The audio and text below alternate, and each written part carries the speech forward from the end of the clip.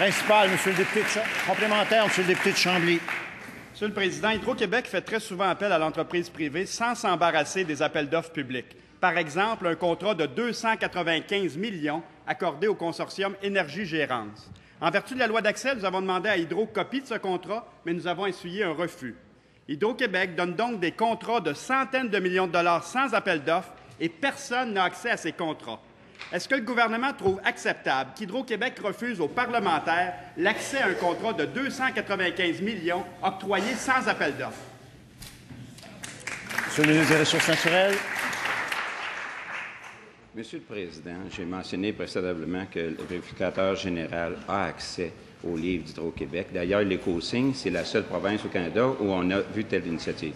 Deuxièmement, dans le cadre des crédits, Monsieur le Président, le président d'Hydro-Québec euh, peut se faire questionner et libre aux parlementaires de questionner le président d'Hydro-Québec quand c'est l'analyse des crédits. Vous savez, Monsieur le Président, euh, nous, de notre côté, euh, ce qu'on fait, c'est on gouverne. On n'y va pas avec des allégations ou des insinuations.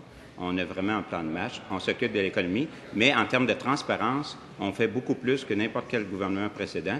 Et que dans le cas de M. Duchesneau ou dans le cas de l'UPAC, s'ils jugent qu'ils doivent aller enquêter chez Hydro-Québec, ils ont juste à y aller. Ils n'ont pas besoin de demander notre permission.